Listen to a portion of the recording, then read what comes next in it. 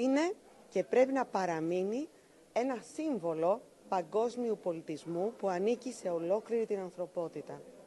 Όλος ο πολιτισμένος κόσμος, ανεξάρτητα από θρησκευτικές πεπιθήσεις, οφείλει να αντιδράσει τώρα ώστε να αλλάξει αυτή η απαράδεκτη απόφαση που είναι και προσβλητική και προκλητική από την πλευρά του κυρίου Ερντογάν.